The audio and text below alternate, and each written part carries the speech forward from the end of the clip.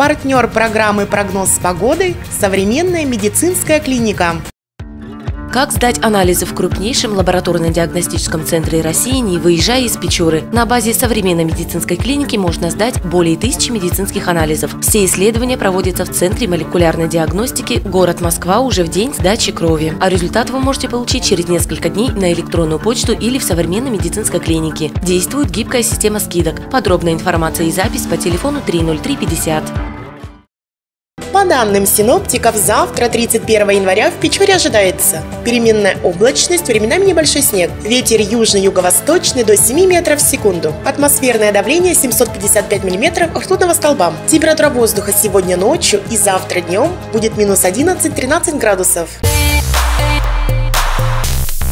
Включи Лав Радио твоей мечты.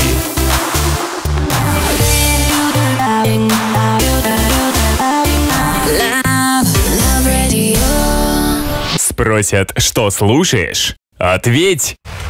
Я слушаю веселое радио для серьезных людей. Радио Ваня. Радио Ваня.